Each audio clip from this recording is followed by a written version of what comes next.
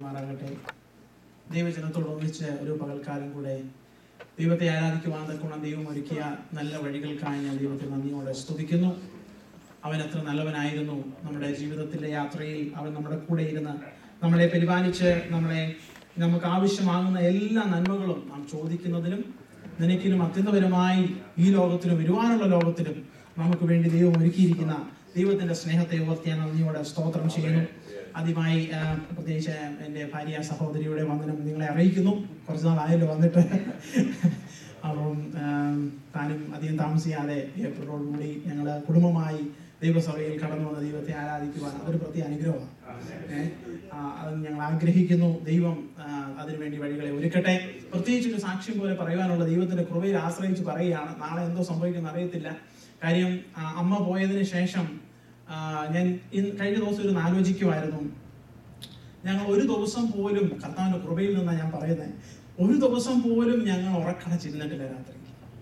കുഞ്ഞുങ്ങൾക്ക് വേണ്ടി അവർ രാത്രി കിടന്ന് കരയുവോ അവർ ഉണർന്ന് ബഹളം വെക്കുകയോ ചെയ്യാതെ ഞങ്ങൾക്ക് വേണ്ടി ആ കുഞ്ഞുങ്ങൾ അഡ്ജസ്റ്റ് ചെയ്തു. ഒരു രാത്രി പോലും ഇതുവരെയും ഉണർന്ന് ഞങ്ങൾ ഉറക്കളച്ചിരിക്കേണ്ട അവസ്ഥ വന്നിട്ടില്ല.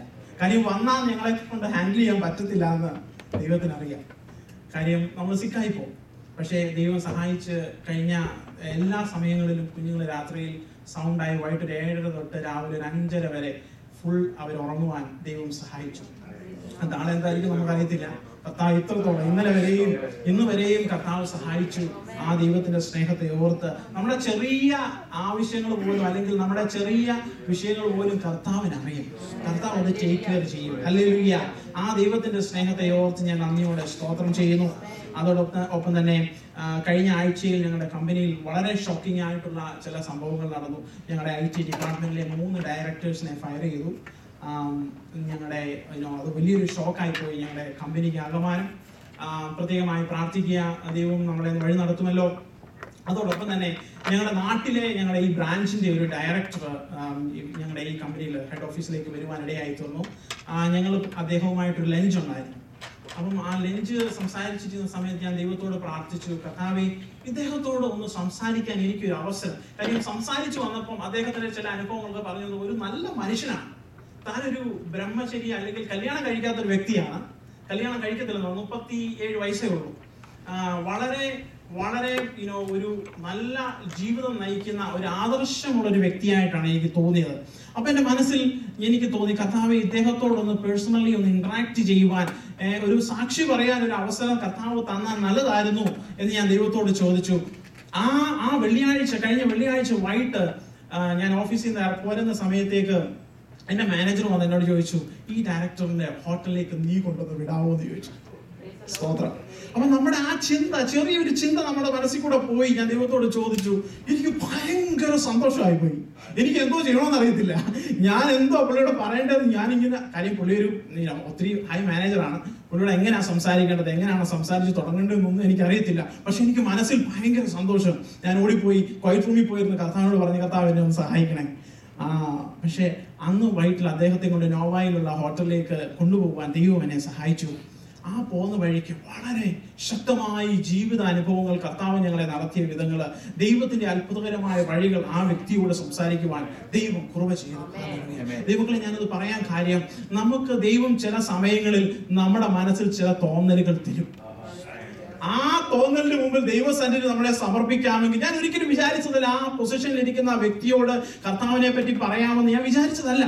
അതിനുള്ള ആക്സസ് എനിക്കില്ല. പക്ഷേ ദൈവം അങ്ങനെ ഒരു അവസരം ഒരുക്കി തന്ന ദൈവത്തെ ഓർത്ത് ഞാൻ നന്ദിയോടെ സ്തോത്രം ചെയ്യുന്നു. ഹലോ ദൈവങ്ങളെ ഞാനിത് പറഞ്ഞൊരു കാര്യം നമ്മൾ ഓരോരുത്തരുടെയും ജീവിതത്തിൽ നമുക്ക് ചില സമയങ്ങളിൽ ചില വ്യക്തികളോട് സംസാരിക്കുവാൻ ദൈവം ഒരു ഇൻസ്റ്റിങ് നമ്മുടെ മനസ്സിൽ തരും. അത് ദൈവസന്നിധി നമ്മളെ ഏൽപ്പിക്കുന്നുവെങ്കിൽ ദൈവം അതിനുള്ള വഴികൾ ഒരുക്കും. ഹല്ലേലൂയ. ഞാൻ അദ്ദേഹത്തോട് ചോദിച്ചു സൺഡേ വിളിക്കണമെന്നുണ്ടായിരുന്നു. ഞാൻ അദ്ദേഹത്തോട് ചോദിച്ചു എന്താ വീക്കെൻഡിൽ പരിപാടി? പുള്ളി പറഞ്ഞു പുള്ളിയുടെ ഒരു ആശ്രമത്തിന്റെ ബ്രാഞ്ച് അമേരിക്കയിലുണ്ട്. കാര്യം പുള്ളി രണ്ടാഴ്ചത്തേക്ക് വന്നതാ. സൈറ്റ് സീയിങ്ങിനൊന്നും പോവാതെ പുള്ളി പറഞ്ഞു ഞാൻ രണ്ടു ദിവസം അവിടെ ധ്യാനിക്കാൻ പോകുന്നു. അപ്പൊ എനിക്ക് മനസ്സിലായി പുള്ളി ഒരു ഒരു സാധാരണ വ്യക്തിയല്ല എന്തോ ഒരു പ്രത്യേകതയുള്ള ഒരു വ്യക്തിയാ. പക്ഷെ ഞാൻ ദൈവം അനുവദിക്കുന്നു എങ്കിൽ ഈ വെള്ളിയാഴ്ച പുള്ളി തിരിച്ച് നാട്ടിലേക്ക് പോകും. എന്താ ഒരു ബൈബിൾ കൊടുക്കുവാൻ ഞാൻ ആഗ്രഹിക്കുന്നു. ദൈവം അതിനുള്ള അവസരം ഉണ്ടാക്കേണ്ടതിന് ദൈവം ദൈവമക്കൾ പ്രാർത്ഥിക്കുക. സ്തോത്രം. ഹാലലൂയ അതോടൊപ്പം തന്നെ പ്രാർത്ഥിക്കാനുള്ള ഒരു വിഷയം കൂടെ. എന്റെ കണ്ണിന് കുറച്ച് നാളായി ചില പ്രോബ്ലം ഉണ്ട്. റൈറ്റ് ഐക്ക് കാഴ്ച കുറഞ്ഞു വരികയാണ്. അതായത് ഞാൻ കൊണ്ട് കാണിച്ചപ്പം എനിക്ക് സിവിയർ ആസ്റ്റിഗ്മാറ്റിസം എന്റെ കണ്ണിനുണ്ട് അപ്പം പ്രത്യേകിച്ച് വണ്ടി ഓടിക്കുമ്പോൾ ചില സമയത്ത് എനിക്ക് ഇച്ചിരി കൺഫ്യൂഷൻ വരാറുണ്ട്. അപ്പം വളയേണ്ടടുത്ത് വളയാതെ നേരെ പോകും അപ്പം രാത്രിയിൽ പ്രത്യേകിച്ച് പ്രത്യേകം എന്റെ കണ്ണിന്റെ അവസ്ഥയെ ഓർത്ത് പ്രാർത്ഥിക്കുക. സൗഖ്യം തരാൻ. ഹലലുയ നന്ദിയോടെ സ്തോത്രം ചെയ്യുന്നു. ഇന്ന് പകൽക്കാലം ഹലലുയ നമുക്ക് വേണ്ടി പ്രവർത്തിക്കുന്ന കർത്താവിന്റെ സന്നിധിയിൽ ഹലലുയ കടന്നു വരുവാൻ തക്കുള്ള ദൈവം ഇടയാക്കിയല്ലോ ആ സ്നേഹത്തെ ഓർത്ത് ഞാൻ നന്ദിയോടെ സ്തോത്രം ചെയ്യും നമുക്ക് ഇന്നത്തെ ചിന്തയ്ക്കായി ഒരു വാക്യം വായിക്കും. എഫ് എസ് ലേഖനം അതിന്റെ ഒന്നാം അധ്യായം അതിന്റെ മൂന്നാമത്തെ വാക്യം. സ്വർഗത്തിലെ സകല ആത്മീയ അനുഗ്രഹത്താലും ഉം. നമ്മെ ക്രിസ്തുവിൽ അനുഗ്രഹിച്ചിരിക്കുന്ന നമ്മുടെ കർത്താവായ യേശു ക്രിസ്തുവിന്റെ ദൈവവും പിതാവുമായവന് പിതാവുമായവൻ വാഴ്ത്തപ്പെട്ടവൻ. വാഴ്ത്തപ്പെടും. വാഴ്ത്തപ്പെടും. വാഴ്ത്തപ്പെട്ടവൻ. ആമേൻ. നമുക്കൊരു നിമിഷം പ്രാർത്ഥിക്കാം. കർത്താവെ ഈ നല്ല പ്രഭാതത്തിനായി ഞങ്ങളെ നന്ദിയോടെ സ്തുതിക്കുന്നു. കർത്താവെ ഞങ്ങൾ ഒരുമിച്ച് തിരുവചനവുമായി അങ്ങയുടെ സന്നിധിയിലേക്ക് ഞങ്ങൾ കടന്നു വരികയാണ്. കർത്താവെ ഹലലുയ ഇരുവായ്ത്തലയുള്ള ഏത് വാളിനെ കാട്ടിലും മൂർച്ചയേറിയ അങ്ങയുടെ തിരുവചനം.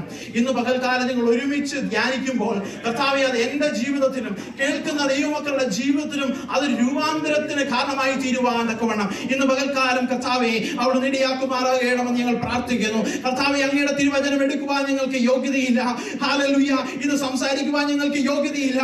എന്നാൽ ഞങ്ങളുടെ മേൽ വ്യാപരിക്കുന്ന അങ്ങയുടെ അത്യന്ത ശക്തി ഹാലലുയ ഞങ്ങളെ യോഗ്യരാക്കി തീർക്കുന്ന സ്നേഹത്തെ ഓർത്ത് നന്ദിയോടെ സ്തോത്രം ചെയ്യുന്ന കർത്താവെ ഇന്ന് പകൽക്കാലം അവിടുന്ന് ഇതിനെ ഹാലലുയ പങ്കിട്ട് തെരുമാറാകണമെന്ന് പ്രാർത്ഥിക്കുന്നു. പ്രാർത്ഥന കേട്ടതിനായി സ്തോത്രം. യേശു ക്രിസ്തുവിന്റെ നാമത്തിൽ തന്നെ പിതാവേ. ആമേൻ. ഹാലലുയ നാം ഇങ്ങനെ വായിച്ചു സ്വർഗത്തിലെ സകല ആത്മീയ അനുഗ്രഹത്താലും നമ്മെ ക്രിസ്തുവിൽ അനുഗ്രഹിച്ചിരിക്കുന്ന സഭയുടെ അല്ലെങ്കിൽ ഈ ലേഖനം പൗലോസ് എഴുതുമ്പോൾ പൗലോസിന്റെ അവസ്ഥ എഫ് എസ് ലേഖനത്തെ പറ്റി പറയുന്നത് വൺ ഓഫ് ദി ഫസ്റ്റ് പ്രസൻ എഫസ്റ്റ് എന്നാണ് പറയുന്നത്.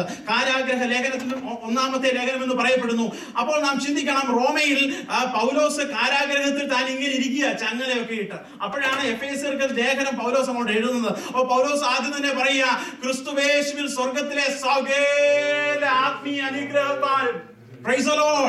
അപ്പൊ ഓർത്ത് വയ്ക്കണം ആ ചങ്ങലയുടെ കൈയൊക്കെ അങ്ങോട്ട് ചങ്ങലയൊക്കെ അവിടെ കിലിങ്ങി അങ്ങോട്ട് കൈ അങ്ങോട്ട് ഉയർത്തുക. ആ സകേലം എന്ന് പറയുമ്പോൾ അതിനൊരു ബലമുണ്ട്. Praise the Lord. Hallelujah. പൗലോസ് ഏത് അവസ്ഥയിൽ ഇരിക്കുമ്പോഴാ പറയുന്നത് ചങ്ങലയ്ക്ക് കിടക്കുക. കയ്യെ ചങ്ങലയും വിട്ടിങ്ങനെ കിടക്കും. പൗലോസ് കൈകൾ ഉയർത്തി അങ്ങോട്ട് പറയുക നിങ്ങളെ സകേല ആത്മീയ അനുഗ്രഹത്താലും ക്രിസ്തുവിൽ നമ്മളെ അനുഗ്രഹിച്ചിരിക്കുന്നു. ദൈവങ്ങളെ ഈ അനുഗ്രഹം എന്നൊക്കെ പറയുന്നുണ്ടല്ലോ. ഭയങ്കര ഈ ദൈവസഭയുടെ അനുഗ്രഹവും ലോകത്തിന്റെ അനുഗ്രഹവും തമ്മിൽ ഭയങ്കര കോൺട്രാസ്റ്റ് ആണ്. നാം ഇങ്ങനെ വായിക്കുന്നു ആത്മാവിൽ ദരിദ്രരായവർ ഭാഗ്യവാന്മാർ. ലൂക്കോസിന്റെ സുവിശേഷത്തിൽ വരുന്നത് പറയുന്നത് ദരിദ്രരായവരെന്നേ പറയുന്നുള്ളൂ. ആത്മാവിൽ നിന്ന് പോലും പറയുന്നില്ല. ദരിദ്രരായവർ ഭാഗ്യവാന്മാർ എന്ന് പറയുന്നു. പക്ഷെ ലോകം പറയുമോ ലോകം പറയത്തില്ല. ലോകം ദരിദ്രരായവർ ഭാഗ്യവാൻ എന്ന് പറയത്തില്ല. അതുപോലെ നമ്മുടെ ആത്മീയ അനുഗ്രഹങ്ങളും ലോകം പറയുന്ന അനുഗ്രഹവും തമ്മിൽ ഭയങ്കര കോൺട്രാസ്റ്റാണ് ഇവിടെ പൗലോസ് എല്ലാം നഷ്ടപ്പെട്ടവനായി. ഇനി നാളെ എനിക്ക് എന്താ സംഭവിക്കുമെന്ന് പോലും അറിയാതെ ഇരിക്കുന്ന അവസ്ഥയിൽ വളരെ ആത്മാവിന്റെ ബലത്തോട് പറയുക സ്വർഗത്തിലെ സകല ആത്മീയ അനുഗ്രഹത്താലും നമ്മെ അനുഗ്രഹിച്ച ദൈവം. ആരോടാ ഹല്ലേലൂയ അതിന്റെ മൂന്നിന്റെ ഒന്നൊന്ന് വായിച്ചാട്ടെ മൂന്നിന്റെ ഒന്ന്. ഞാൻ. ജാതികളായ നിങ്ങൾക്ക് വേണ്ടി ക്രിസ്തുവിന്റെ ഈ എഫ് എസ് എസ് സഭയിൽ കൂടുതലും ജാതികളായ വ്യക്തികളോടാണ് ഈ പൗലോസ് സംസാരിക്കുന്നത്. ഹലൽവിയ ഒന്നുകൂടെ അതിന്റെ ആഴം നമുക്ക് മനസ്സിലാകണമെങ്കിൽ അതിന്റെ രണ്ടിന്റെ പന്ത്രണ്ട് കൂടെ ഒന്ന് വായിച്ചാട്ടെ രണ്ടിന്റെ പന്ത്രണ്ട്. ആമേ ക്രിസ്തുവിനെ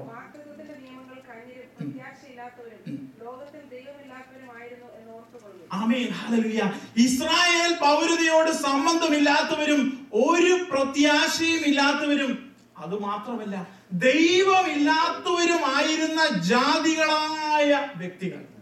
ദൈവത്തെ സ്വീകരിച്ച് അവയിൽ സഭയിലേക്ക് കടന്നു വന്നപ്പോൾ പൗലോസ് പറയുന്നതാണ് ജാതികളായ പൗലോസ് ആരാണ്? യഹൂദനാണ്. പൗലോസ് പറയുന്നു ഇത് ഒരു കാലത്ത് ഇസ്രായേലിന് മാത്രമേ ഉണ്ടായിരുന്നു. ഇത് ജാതികൾക്കില്ലായിരുന്നു. നമുക്കറിയാം യേശു കർത്താവിന്റെ അടുക്കൽ ഒരു സ്ത്രീ ഹലലി വന്നപ്പോൾ യേശു കർത്താവ് പറഞ്ഞു മക്കളുടെ അപ്പം എടുത്ത്. നായ്ക്കുട്ടികളോ അത്രമാത്രം ഒരു നായയുടെ അവസ്ഥയിൽ ഓ കണ്ടിരുന്ന ജാതികളായ വ്യക്തികളോട് യഹൂദനായ പൗലോസ് പറയുകയാണ് സ്വർഗത്തിലെ സകല ആത്മീയ അനുഗ്രഹങ്ങളും നമുക്ക് തന്നിരിക്കുന്ന ദൈവം. അതിന്റെ ആഴം ദൈവങ്ങളെ മനസ്സിലാക്കണം. യാതൊരു പ്രതീക്ഷയുമില്ലാതെ നമുക്കറിയാം ഉര ഉണങ്ങി വരണ്ട് വിണ്ട് കീറി കിടക്കുന്ന ഒരു നിലത്തിലേക്ക് ഒരു തുള്ളി വെള്ളം അങ്ങോട്ട് ഒഴിക്കുമ്പോൾ അതെങ്ങനെ വലിച്ചെടുക്കുമോ? അതുപോലെ വലിച്ചെടുക്കേണ്ട അനുഗ്രഹമാണ് പറയുന്നത്. അതായത് നമുക്ക് യാതൊരു യോഗ്യതയുമില്ലായിരുന്നു എന്നാൽ ക്രിസ്തുവേശു മുഖാന്തരം നമ്മളെ ആ യോഗ്യതയിലേക്ക് കർത്താവ് കൊണ്ടുവരും സ്തോത്രം. എഫ് എസ് സഭയോട് പറയുക സഭയെ നീ ജാതിയായിരുന്നു. നിനക്ക് യാതൊരു പങ്കുമോ പൗരത്വമോ ഇല്ലായിരുന്നു. എന്നാൽ സ്വർഗത്തിലെ സകല കുറച്ച് അനുഗ്രഹമല്ല സകല ആത്മീയ അനുഗ്രഹങ്ങളും നമ്മുടെ മേൽ അയക്കുന്ന ഹലൽവിയ ദൈവം. പ്രൈസ് ലോഡ് ഹലൽവിയ അതോടൊപ്പം തന്നെ ഈ എഫ് എസ് ലേഖനത്തെ പറ്റി നാം വായിക്കുമ്പോൾ പ്രത്യേകിച്ച് നാം മറ്റു ലേഖനത്തിലൊക്കെ വായിക്കുമ്പോൾ കൊരിന്ത ലേഖനം അല്ലെങ്കിൽ ഗലാത്തിലെ ബുദ്ധിയില്ലാത്ത ഗലാത്തിരെ എന്നൊക്കെ വിളിച്ച് പൗലോസ് ശകാരിക്കുന്നതായി നമുക്ക് കാണാം. ഹലലിയ അല്ലെങ്കിൽ കൊരിന്ത ലേഖനത്തിൽ അനേക പ്രശ്നങ്ങൾ ഉണ്ടായിരുന്നു. എന്നാൽ ഈ എഫ് എസ് എസ് ലേഖനം നാം വായിച്ചു നോക്കുമ്പോൾ അങ്ങനെ വലിയ പ്രശ്നങ്ങളൊന്നും കാണാത്ത ഒരു സഭയാണ്. ഹല്ലേലൂയ. അവരെ കുറിച്ച് നല്ല രീതിയിൽ അല്ലെങ്കിൽ വെളിപ്പാട് പുസ്തകത്തിൽ നാം വായിക്കുമ്പോൾ എഫ് എസ് സഭയെ പറ്റി പറഞ്ഞ ഒരു പ്രശ്നമേ ഉള്ളൂ. ആദ്യ സ്നേഹം നഷ്ടപ്പെട്ടു പോയി അല്ലെങ്കിൽ മറ്റു പല അനുഗ്രഹങ്ങൾ അവരെ കുറിച്ച് പറയുന്ന വലിയ പ്രശ്നങ്ങളൊന്നും ഇല്ലാതെ പോയ ഒരു ദൈവസഭയോട് പൗലോസ് ഇവിടെ സംസാരിക്കുന്ന ഈ വളരെ വളരെ ആഴമായ അനുഭവങ്ങൾ. ഹല്ലേലൂയ ദൈവസഭയെ ഇവിടെ പൗലോസ് പറയുകയാണ് നമ്മെ കുറിച്ച് ദൈവം ആഗ്രഹിക്കുന്നത് ഒരേ ഒരു നിലവാരത്തിൽ ഇങ്ങനെ പോകുവാനല്ല. പ്രൈസ് ലോർഡ് ഹല്ലേലൂയ ഞാൻ പറയുന്നത് മനസ്സിലാകുന്നുണ്ടോ? ഇവിടെ പൗലോസ് പ്രാർത്ഥിക്കുന്ന ചില പ്രാർത്ഥനകളുണ്ട്. അവർ പൗലോസ് സഭയോട് പറയുകയാണ് നിങ്ങൾ വെറുതെ വന്നു ദൈവത്തെ ആരാധിച്ചു പോകുവാനല്ല ദൈവം നിങ്ങളെ കുറിച്ച് ആഗ്രഹിക്കുന്നത്. അവന്റെ നിങ്ങളുടെ ഹൃദയ ദൃഷ്ടി ഒന്ന് പ്രകാശിക്കണം. അതിന്റെ അർത്ഥം നിങ്ങൾ വചനത്തിന്റെ ആഴങ്ങളിലേക്ക് ഇറങ്ങണം. ആത്മീയ അനുഭവങ്ങളുടെ ആഴങ്ങളിലേക്ക് ഒന്ന് പോകണം. അവൻ അലലിയ നമുക്ക് വേണ്ടി വ്യാപരിക്കുന്ന അവന്റെ അളവറ്റ ശക്തിയുടെ വലുപ്പം എന്താണെന്നൊന്ന് നിങ്ങൾ ഗ്രഹിക്കണം. അത് ആരെല്ലാം കാണിച്ചോണ്ട് ആരെ ചൂണ്ടിക്കൊണ്ടാ പറയുന്നത് യേശു കർത്താവിനെ ചൂണ്ടിക്കൊണ്ടാ പറയുന്നത് അവന് എന്റെ കർത്താവായ യേശുവിൽ വ്യാപരിച്ച അവന്റെ ശക്തി അത് അവന്റെ തലയാണെന്ന് അവനും കൂടെ സഭയിലേക്ക് തന്നിരിക്കുകയാണ്. അപ്പം നമുക്ക് വേണ്ടി വ്യാപരിക്കുന്ന ശക്തി ഒന്ന് അറിയണം. നിങ്ങൾ വെറുതെ വന്ന് ഇരുന്ന് പോകുവാനല്ല ദൈവങ്ങളെ നമ്മളെ കുറിച്ച് ദൈവം ആഗ്രഹിക്കുന്നത്. എഫെസ്യ സഭയോട് പറയുകയാണ് നിങ്ങൾ ഇച്ചിരി കൂടെ ഒന്ന് ഇറങ്ങ്. Lord. പൗലോസിന്റെ ആഗ്രഹം അതാണ് ക്രിസ്തു നിങ്ങളിൽ ഒരുപാകോളം ഭാഗം മാത്രമല്ല ആ ക്രിസ്തു നിങ്ങൾ വളരണം. ക്രിസ്തുവിൽ വളരണം. ക്രിസ്തുവിൽ ഉയർന്നു വരണം. അതാണ് എഫ് എസ് എഫ് എസ് ലേഖനം നാം വായിച്ചു വരുമ്പോൾ വളരെ ആഴമായ വിഷയങ്ങൾ അവിടെ പൗലോസ് പറയുന്നുണ്ട് ഇവൻ നമ്മൾ തന്നെ അഞ്ച് അഞ്ചാറ് പ്രാവശ്യം വായിച്ചെങ്കിലേ കുറച്ചൊക്കെ മനസ്സിലാകത്തുള്ളൂ. വളരെ ആഴമായ വിഷയങ്ങൾ. എന്തുകൊണ്ടാണ് ദൈവസഭയെ എഫ് എസ് സഭയെ പൗലോസ് അങ്ങോട്ട് പുഷ് ചെയ്യുന്നതിന്റെ കാര്യം എന്നാണെന്നറിയാവോ പൗലോസ് പറയുന്നു ഞാൻ പൗലോസ് പ്രാപിച്ച ആ ആത്മീയ കാഴ്ചപ്പാട് ഈ സഭയിൽ എല്ലാവരും പ്രാപിക്കണം പ്രൈസ്. അന്നെങ്കിൽ മാത്രമേ നമ്മുടെ വിശ്വാസ ജീവിതത്തിൽ നിലനിൽക്കുവാൻ കഴിയത്തുള്ളൂ. അല്ലെങ്കിൽ നമുക്കറിയാം ഇന്ന് ആൾക്കാർ പറയുന്നത് പോലെ ഓക്കെ മനുഷ്യനല്ലേ ഒരു ഒരു ഒരു സമൂഹം വേണം ഏ? ഒരു ജാതി വേണം ഒരു ദൈവം വേണം. ഒന്ന് പള്ളിയിലൊക്കെ പോണം. അല്ലേ അല്ലെങ്കിൽ എന്താ ഒരു ഒരു രസം ഏ? ഒന്ന് പള്ളിയിലൊക്കെ പോയി നമ്മുടെ കാര്യങ്ങളൊക്കെ നടത്തി. ആ ഒരു ഒരു പൊത്തുവരുത്തപ്പെട്ട അനുഭവത്തിൽ കൂടെ പോകുവാനല്ല ദൈവം നമ്മളെ കുറിച്ച് ആഗ്രഹിക്കുന്നത്. ഇതൊരു വ്യക്തി ബന്ധമാണ്. ഇത് ദൈവമായിട്ടുള്ള ബന്ധമാണ്. ഹലലുയ ഇത് നമ്മുടെ ജീവിതത്തിൽ ഒരു പ്രോഗ്രസീവ് ആയിട്ടുള്ള അവസ്ഥയാണ്. ഹലലുയ നാം അവനെ അവനോട് കൂടെ നമ്മൾ സഞ്ചരിക്കും തോറും അവനെ കൂടുതലായി അറിയുവാൻ കഴിയും. അല്ലേ? ഇപ്പൊ നമുക്ക് തന്നെ അറിയാം ഒരു ഭാര്യ ഭർത്താവും കല്യാണം കഴിച്ചു ഭർത്താവ് ഗൾഫിൽ പോയി ഭാര്യ വീട്ടിലാ. പക്ഷേ തമ്മിൽ ഒരുമിച്ച് ജീവിക്കുമ്പോൾ മാത്രമേ തമ്മിൽ കൂടുതലായി അറിയുവാൻ കഴിയത്തുള്ളൂ. അല്ലെ? കുറച്ചു നാൾ കഴിയുമ്പം ഭർത്താവ് പറയേണ്ട ആവശ്യമില്ല. എന്ന കാര്യം എനിക്ക് ചെയ്യണം. അല്ലെങ്കിൽ അത് അറിയാം. അതുപോലെ നാം കർത്താവിനോട് കൂടെ സഞ്ചരിക്കുമ്പോൾ അവനോട് ചേർന്ന് നടക്കുമ്പോൾ അപ്പോൾ മാത്രമാണ് നമ്മുടെ ജീവിതത്തിൽ ഒരു വളർച്ച ഉണ്ടാകുന്നത്. ആ വളർച്ച നമ്മുടെ ജീവിതത്തിൽ വേണം. അല്ലെങ്കിൽ നമ്മുടെ ജീവിതത്തിന്റെ യാത്ര അവസാനം അതിൽ എങ്ങും എത്താത്ത അവസ്ഥയായി തീരും ഹാലലുയ അതുകൊണ്ട് ദൈവമക്കളെ ഹാലലുയ ഈ ദിവസങ്ങൾ പൗലോസ് ഈ സഭയിൽ അടിസ്ഥാനപരമായി ഹാലലുയ പറയുന്നത് ഹാലലുയ അവനെ അറിയണം. ആ രണ്ടാമത്തെ പ്രാർത്ഥന യേശു ക്രിസ്തുവിനെ കുറിച്ചുള്ള അറിവ് അതിന്റെ ആഴം ഉയരം നീളം വീതി ഇതൊക്കെ നിങ്ങൾ തിരിച്ചറിയണം എന്ന് വളരെ ശക്തമായി മുട്ടുകുത്തി പൗലോസ് മുട്ടുകുത്തി പ്രാർത്ഥിക്കുകയാണ്. ഞാൻ നന്ദിയോടെ കർത്താവിനെ സ്തുതിക്കുന്നു. എന്ന് പകൽക്കാലം ഞാൻ മുൻപോട്ട് പോകട്ടെ. ഹാലലുയ എന്താണ് ഈ ആത്മീയ അനുഗ്രഹങ്ങൾ? സ്വർഗത്തിൽ സ്വർഗത്തിലുള്ള അല്ലെ? സ്വർഗത്തിലെ സകല ആത്മീയ അനുഗ്രഹങ്ങളും ഈ ഭൂമിയിലെ അനുഗ്രഹങ്ങളെല്ലാം താൽക്കാലികം. അല്ലെ? നമ്മുടെ ആരോഗ്യം നമുക്കുള്ള സമ്പത്ത് എല്ലാം കുറച്ച് കഴിയുമ്പോഴത്തേക്ക് തീർന്നു പോകുന്നതും നശിച്ചു പോകുന്നതും തുരുമ്പഴിക്കുന്നതുമായ ഹലലിയ അനുഗ്രഹങ്ങളാണ്. എന്നാൽ സ്വർഗത്തിലെ അനുഗ്രഹങ്ങൾ എന്നേക്കുമുള്ളതാണ് അത് നിലനിൽക്കുന്നതാണ്. ഹലലിയ അതൊരിക്കലും പോകുന്ന അനുഗ്രഹങ്ങളല്ല. ഇങ്ങനെ കേട്ടു എടാ ഈ ഭൂമിയിലെ അനുഗ്രഹങ്ങൾക്കെല്ലാം ഒരു ലിമിറ്റ് ഉണ്ട് അല്ലേ? ഇപ്പൊ നമുക്ക് എത്ര? പത്ത് കാറ് നമുക്ക് കിട്ടിയാൽ പറ്റുമോ എന്തോ എന്തോ ചെയ്യാൻ പറ്റും? പത്ത് കാറ് വെച്ച്. അതിൽ ഒരു കാറിലെ ഒരു സമയത്ത് ഓടിക്കാൻ പറ്റത്തുള്ളൂ. ഏ? അപ്പൊ അതിനെല്ലാം ഒരു പരിധിയുണ്ട്. എന്നാൽ പരിധിയില്ലാത്ത അനുഗ്രഹങ്ങൾ ഒറ്റയൊന്നേ ഉള്ളൂ. അത് പരിശുദ്ധാത്മാവാണ്. പരിശുദ്ധാത്മാവിന് ഒരു ലിമിറ്റ് ഇല്ല പരിശുദ്ധാത്മാവിനെ പറ്റുന്ന അളവ് കൂടാതെ കൊടുക്കുന്ന പരിശുദ്ധാത്മാവ്. പ്രൈസ്. ഞാൻ നന്ദിയോടെ സ്തോത്രം ചെയ്യുന്നു. എങ്കിൽ ഹലലിയ ഈ ലേഖനത്തെ സംബന്ധിച്ച് ഹല ചില വിഷയങ്ങൾ ഹലലിയ അഞ്ച് പോയിന്റ് ഞാൻ ആത്മീയ അനുഗ്രഹങ്ങൾ എന്തൊക്കെയാണെന്നുള്ള അഞ്ച് ആത്മീയ അനുഗ്രഹങ്ങളെ കുറിച്ച് പറഞ്ഞ് ദൈവസന്നിധിയിൽ ഇരിക്കുവാൻ ഞാൻ ആഗ്രഹിക്കുന്നു. അതിന്റെ ഒന്നാമത്തെ അനുഗ്രഹത്തിലേക്ക് പോകാം. അതിന്റെ ഒന്നാം അധ്യായം ഏഴാം വാക്യം.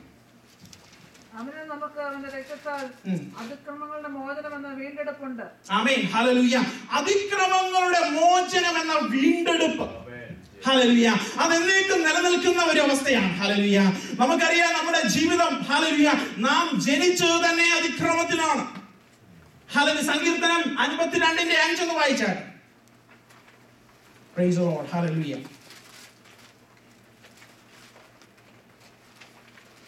ദൈവം ദൈവം എന്നേക്ക് നശിപ്പിക്കും. അൻപത്തൊന്ന് അൻപത്തൊന്നിന് സോറി ഇതാ ഞാൻ അകൃത്യത്തിൽ ഒരുവായി ആമേൻ. ഇതാ ഞാൻ അകൃത്യത്തിൽ ഉരുവായി പാപത്തിൽ എന്റെ അമ്മ എന്നെ ഗർഭം ധരിച്ചു. മതി. പാപത്തിൽ എന്റെ അമ്മ എന്നെ ഗർഭം ധരിച്ചു. നാം ഹലവിയ ഒരു മനുഷ്യ ജാതിയുടെ ഒരു മനുഷ്യന്റെ ജീവിതത്തിൽ അവന്റെ ജീവിതത്തിൽ അവനെ മുറുകെ പറ്റുന്ന ഏറ്റവും വലിയൊരു ഭാരമാണ് അകൃത്യം. അല്ലെങ്കിൽ പാപം. ഹല്ലേലൂയ അവൻ പുറത്തു പറഞ്ഞില്ലെങ്കിലും പറയാൻ അവന് കഴിഞ്ഞില്ലെങ്കിലും അവന് വിടുതൽ വേണ്ട ഏറ്റവും വലിയ ഭാഗമാണ് അകൃത്യത്തിൽ നിന്നുള്ള വിടുതൽ. അല്ലെങ്കിൽ പാപത്തിൽ നിന്നുള്ള വിടുതൽ. ഒരു ചങ്ങല തന്റെ കഴുത്തിൽ കെട്ടി വലിച്ചുകൊണ്ട് പോകുന്നത് പോലെയാണ് പാപം. ഹല്ലേലൂയ നമുക്ക് സ്വയമേ എത്ര ശ്രമിച്ചാലും അതിൽ നിന്ന് വിടുതൽ പ്രാപിക്കുവാൻ കഴിയത്തില്ല. നമുക്കറിയാം ദൈവം മനുഷ്യനെ സ്നേഹിക്കുന്നു. വേറെ ആരെയും ദൈവം സ്നേഹിക്കുന്നില്ല. ഞാൻ പറഞ്ഞു മനസ്സിലായോ? ദൈവം മനുഷ്യനെ മാത്രമേ സ്നേഹിക്കുന്നുള്ളൂ. ബാക്കി ജീവജാലങ്ങളെ എല്ലാം ദൈവം കരുതുന്നുണ്ട്. എന്നാൽ സ്നേഹിക്കുന്നത് മനുഷ്യനെ മാത്രം. ഞാൻ പറയാൻ കാര്യം പറയാം. ഹലലിയ നമുക്കറിയാം ഹലലിയ ദൂതന്മാര് പാപം ചെയ്തു. ചെയ്തില്ല. ചെയ്യണമെന്ന് ആഗ്രഹിച്ചു. ദൈവം അതിനെ ക്ഷമിച്ചോ. Hallelujah. സ്തോത്രം. നമുക്കറിയാം കോരിന്ത ലേഖനത്തിൽ വായിക്കുമ്പോൾ സ്നേഹത്തെ കുറിച്ച് വായിക്കുന്നു. സ്നേഹം എല്ലാം ക്ഷമിക്കുന്നു എല്ലാം പൊറുക്കുന്നു. നാം പാപം ചെയ്തപ്പോൾ മനുഷ്യൻ പാപം ചെയ്തപ്പോൾ അവൻ നമ്മളെ സ്നേഹിക്കുന്ന സ്നേഹം മൂലം ഹലലിയ അതിനു വേണ്ടി ഒരു പ്രായച്ചിത്തം ഒരുക്കി. ഞാനൊരു പ്രാവശ്യം പറഞ്ഞത് ഓർക്കുന്നത് അത് എപ്പോഴും എപ്പോഴും മനസ്സിൽ വരുമ്പോൾ എനിക്ക് സന്തോഷം കൊണ്ട് നിറയും ദൂതന്മാർക്ക് വേണ്ടി ഹലലിയ പാപം ചെയ്തപ്പോൾ അവൻ എന്താ ഒരുക്കുന്നത് നരകം ഒരുക്കി എങ്കിൽ മനുഷ്യന് വേണ്ടി കാൽവറി ഒരുക്കി.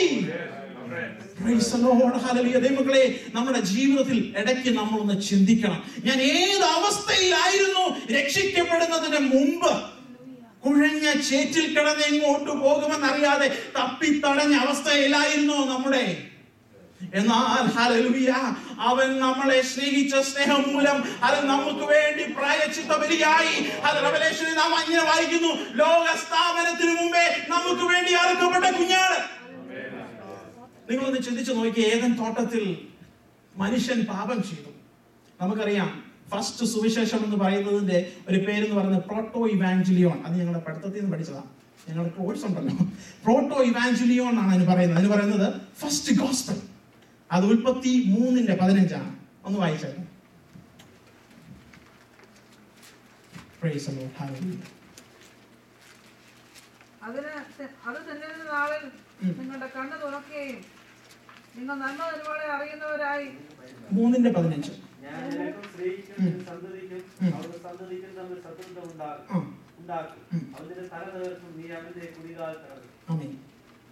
പ്രൈസ് ദി ലോർഡ് ഹല്ലേലൂയ നമ്മുടെ ജീവിതത്തിൽ ഏറ്റവും വലിയ ദൈവം ഫസ്റ്റ് സുവിശേഷം എന്ന് വേണം നമുക്ക് പറയാം അവിടെ പറഞ്ഞിരിക്കുന്ന നമ്മുടെ വാക്തത്വം ഇവിടെ ആദാമും ഹവായും പാപം ചെയ്ത് ദൈവത്തിന് മുമ്പിൽ ഇങ്ങനെ നിൽക്കുക. അപ്പോൾ ദൈവത്തിന്റെ നമുക്ക് തന്നെ അറിയാം നമ്മുടെ കുഞ്ഞുങ്ങൾ ഒരു ഒരു തെറ്റ് ചെയ്തിട്ട് നമ്മുടെ മുന്നിൽ നിൽക്കുമ്പോൾ നമ്മൾ അവരോടുള്ള പ്രകടനം എങ്ങനെയായിരിക്കും? വളരെ സ്നേഹത്തോടെ ആയിരിക്കും. അല്ല നമ്മുടെ ഇമോഷൻസിന് വ്യത്യാസം വരും.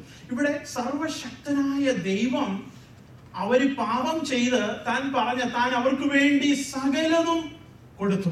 എന്നാൽ താൻ ചെയ്യരുതെന്ന് പറഞ്ഞ കാര്യം അവർ ചെയ്തു. പാപം ചെയ്ത് തന്റെ മുമ്പിൽ നിൽക്കുന്ന ആദാമിനോടും ഹൗവായോടും പറയുകയാണ് ഭയപ്പെടേണ്ട ഞാനൊരു വഴി ഒരുക്കിയിട്ടുണ്ട്. എനിക്കും നിനക്കും ദൈവവുമായിട്ടുള്ള നമ്മുടെ കമ്മ്യൂണിയൻ നഷ്ടപ്പെട്ടു. പക്ഷെ അതിനു മുമ്പ് തന്നെ അതിനെ റിസ്റ്റോർ ചെയ്യുവാനുള്ള വഴിയും ദൈവം ഒരുക്കി. ദൈവമേ ദൈവമക്കളെ God is a God of restoration hallelujah അവൻ ഒരിക്കലും അതിനെ തകർത്ത് കളയും നമുക്കറിയാം. ഭൂമി പാഴും ശൂന്യമായി കിടന്ന ഭൂമിയെ ദൈവം തള്ളി കളഞ്ഞില്ല. ദൈവം അതിനെ വിളിച്ചു വരുത്തി റിസ്റ്റോർ ചെയ്യുന്ന ഒരു ദൈവമാണ്. അതിന് എക്സാമ്പിൾ പറഞ്ഞു നമുക്കറിയാം ഇപ്പൊ ചാച്ച നമ്മുടെ നാട്ടിലെ ഏറ്റവും ചാച്ചയുടെ കമ്പനിയുടെ ഉടമസ്ഥൻ പുള്ളി പുള്ളി തന്നെ കാറുമായിട്ട് ഇങ്ങനെ യാത്ര ചെയ്ത് പോവാം. ഏഹ് യാത്ര ചെയ്ത് പോകുന്ന വഴിക്ക് കാറിന് ഒരു ബ്രേക്ക് ഡൗൺ ആയി പ്രശ്നമായി. പുള്ളി ഇങ്ങനെ ചെയ്യുമെന്ന് നിങ്ങൾ വിചാരിക്കുന്നുണ്ടോ? നേരെ അത് കൊണ്ടുപോയി വർക്ക്ഷോപ്പിൽ കൊണ്ടുപോയി ഏഹ് പണിക്കാരനെ നിർത്തി അത് പണിത് റിപ്പയർ ചെയ്തിട്ട് ആ വണ്ടി കൊണ്ടുപോകും പുള്ളി ആ വണ്ടി കൊണ്ട് വേറെ വണ്ടി കൊണ്ടുപോകും അല്ലേ? അതുപോലെ പൈസ ഉള്ള ഒരു വ്യക്തിയാണ്. താൻ ധനം താൻ അതിനെ കുറിച്ച് ബോധന ചെയ്യേണ്ട ആവശ്യമില്ല. അത് റിപ്പയർ ചെയ്യണമെന്ന് തനിക്കൊരു ബോധറേഷന്റെ ആവശ്യമില്ല. എന്നാൽ ദൈവം അങ്ങനല്ല. ദൈവം ഹലലുയ തകർന്നു പോയതിനെ ഹലലുയ ഹലലുയ റിസ്റ്റോർ ചെയ്യുവാൻ തക്കവണ്ണം സ്നേഹമുള്ള ദൈവമാണ്. തകർന്നു പോയ നമ്മളെ നശിപ്പിച്ചു കളയുവാൻ ദൈവം ആഗ്രഹിക്കുന്നില്ല. നമ്മളെ വീണ്ടെടുക്കുവാൻ നമുക്ക് വേണ്ടി ഒരു വീണ്ടെടുപ്പ് ഒരുക്കുവാൻ അവൻ വഴികളെ ഒരുക്കി ഹലലുയ അതിനുവേണ്ടി ഏതു വിലയും ആ വിലയുടെ പരമോന്നതമായ വില കൊടുക്കുവാൻ അവൻ തയ്യാറായി. അതാണ് ദൈവത്തിന്റെ സ്നേഹം. Praise the Lord. ഞാൻ നന്ദിയോട് കർത്താവിനെ സ്തുതിക്കുന്നു. ഹാലലുയ എന്ന് പകൽക്കാലം ഞാൻ മുൻപോട്ട് പെട്ടെന്ന് പോകട്ടെ. ഹാലലുയ നമുക്കറിയാം. ഹാലലുയ എഫ് എസ് ലൈൻ രണ്ടിന്റെ നാലൊന്ന് വായിച്ചാൽ.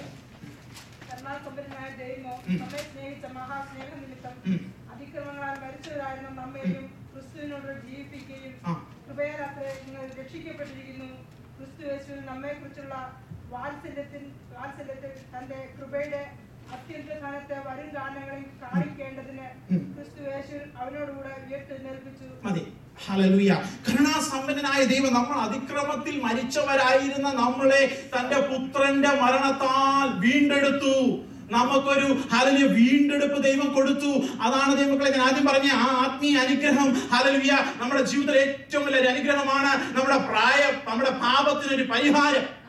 ഹലലുയ. സമയമില്ലാത്തതുകൊണ്ട് ഞാൻ അധികം വാക്യങ്ങൾ വായിക്കുന്നില്ല. ഹാലലുയ. ഞാൻ മുൻപോട്ട് പോവുകയാണ്. ഈ ക്ഷമ ദൈവം തന്നു. ഹല നമ്മളെ നമ്മൾ വായിക്കുന്നത് ഹല അവൻ നമ്മുടെ പാപങ്ങളെ ഓർക്കുന്നില്ല. നമ്മുടെ കഴിഞ്ഞകാല ജീവിതത്തിലെ നമ്മുടെ ജീവിതത്തിലെ തെറ്റുകൾ എത്ര വലുതാണേലും അവനെ സ്വീകരിച്ചു കഴിയുമ്പോൾ അവനത് മറന്നു കളയുന്ന ദൈവം.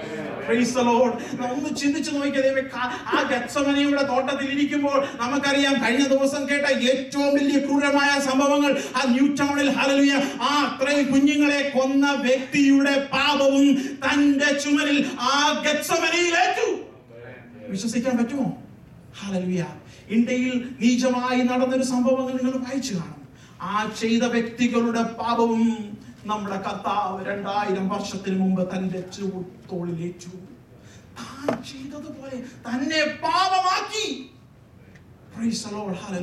അത്രമാത്രം ഹലലുയ അതുകൊണ്ടാണ് തന്റെ താൻ സഹിച്ച താൻ വേദന അനുഭവിച്ചത്. ഹലലുയ ദൈവങ്ങളെ ദിവസങ്ങൾ നാം അത് ഓർക്കണം. ഹലലുയ ദൈവം നമുക്ക് വേണ്ടി ആ പ്രായച്ചിത്തം ഒരുക്കി ആ പാപക്ഷമ നമുക്ക് തന്നു എങ്കിൽ ഹലലുയ അതിന്റെ ആഴങ്ങളിലേക്ക് നമുക്ക് നിറങ്ങാം. ഹലലുയ അങ്ങനെയെങ്കിൽ നാം കഴിഞ്ഞ ദിവസം ദൈവദാസൻ ബുധനാഴ്ച ക്ലാസ് ഇങ്ങനെ പ്രാർത്ഥനയിൽ ഇങ്ങനെ പറഞ്ഞു ദൈവം നമ്മുടെ പിഴകളെ ക്ഷമിച്ചതുപോലെ നാമും മറ്റുള്ളവരുടെ പിഴകളെ ക്ഷമിക്കണം. പ്രൈസ് ലോഡ് ദൈവങ്ങളെ ആ ക്രിസ്തുവിന്റെ വളർച്ച നമ്മുടെ ജീവിതത്തിൽ വരുമ്പോൾ പ്രൈസ് ലോഡ് അവൻ നമ്മുടെ പാപം ക്ഷമിച്ചത് ഓർത്താൽ നമുക്ക് എത്രമാത്രം മറ്റുള്ളവരുടെ പാപം നമ്മൾ നമ്മുടെ അത്രയും പാപം നാം ദൈവത്തോട് ചെയ്ത അത്രയും പാപം നമ്മൾ മനുഷ്യരോടാരും ചെയ്തിട്ടില്ല. പ്രൈസ് ലോഡ് ഹലലുയ എന്നാൽ ഹലലുയ ദൈവം നമ്മളോട് ക്ഷമിച്ച ക്ഷമ നാം എപ്പോഴും ഓർക്കുന്നെങ്കിൽ മറ്റുള്ളവർക്ക് നമ്മളോട് ചെയ്ത തെറ്റുകൾ ക്ഷമിക്കുവാൻ തക്കവണ്ണം നമ്മുടെ ഹൃദയം ഹമ്പിളാകും പ്രൈസ് ലോഡ് ഹല്ലേലൂയ ഞാൻ ദൈവത്തോട് നന്ദിയോടെ സ്തോത്രം ചെയ്ത് മുൻപോട്ട് പോകട്ടെ. ഹലലുയ രണ്ടാമത്തെ വിഷയം അതിന്റെ അന്നിന്റെ അഞ്ച്. രണ്ടാമത്തെ ആത്മീയ അനുഗ്രഹം. തിരഞ്ഞെടുക്കുകയും പ്രസാദപ്രകാരം യേശു മുഖാന്തരം. നമ്മെ അവൻ പ്രിയനായവനെ നമുക്ക് സൗജന്യമായി നൽകിയ ആ. തന്റെ കൃപാമഹത്വത്തിന്റെ പുകഴ്ചയ്ക്കായി സ്നേഹത്തിൽ നമ്മെ മുൻ നിയമിക്കുകയും ചെയ്തു ഹല ക്രിസ്തു മുഖാന്തരം നമ്മെ ദത്തെടുത്തു. എഫ് എസ് ലേഖനം രണ്ടിന്റെ മൂന്നിൽ നാം ഇങ്ങനെ വായിക്കുന്നു. വായിക്കേണ്ട കോപത്തിന്റെ മക്കളായിരുന്നു നമ്മൾ. കോപത്തിന്റെ മക്കൾ. കോപത്തിന്റെ മക്കളായിരുന്ന നമ്മളെ അവന്റെ രക്തത്താൽ അവൻ നമുക്ക് വേണ്ടി പ്രായച്ചിത്തം ഒരുക്കിയിട്ട് അവൻ എന്തോ ചെയ്തു? നമ്മളെ ദത്തെടുത്തു. ഹലലുയ അവനെ അപ്പ പിതാവേ എന്ന് വിളിക്കുവാനുള്ള അവകാശം നമുക്ക് അവൻ തന്നു. ഹലലുയ ആ സ്നേഹത്തെ ഓർത്ത് നാം ഓർക്കണം. ഹലലുയ സ്തോത്രം. ഹലലിയ കൊളോസ് ലേഖനം രണ്ടിന്റെ പതിമൂന്ന് മുതൽ പതിനഞ്ച് വരെ വായിച്ചാട്ട്. വളരെ ഇമ്പോർട്ടന്റ് ആണ് നമുക്ക് എല്ലാവർക്കും അറിയാവുന്ന ഒരു വാക്യമാണ്.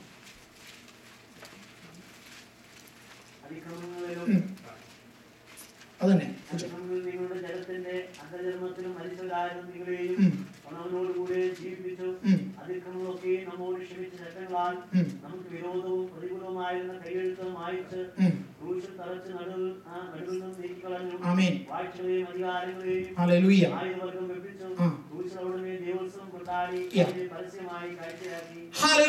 കാൽവരി ക്രൂശിൽ നമുക്കറിയുന്ന പലരും പ്രസംഗിച്ച് ഞാൻ കേട്ടിട്ടുണ്ട് യേശു ക്രൂശി കിടക്കുന്ന യേശു ഒരു പരാജയമാണ്. അല്ല ക്രൂശിലാണ് കർത്താവ് ജയോത്സവം കൊണ്ടാടിയത്. നമുക്കെതിരെയുള്ള കടച്ചീട്ടിനെ പിശാദിന്റെ കയ്യിൽ നിന്ന് ഇങ്ങോട്ട് വലിച്ചെടുത്തു. പിശാചിന്റെ ഭാഗത്ത് ഒന്ന് ഒന്ന് ഇമാജിൻ ചെയ്യുക.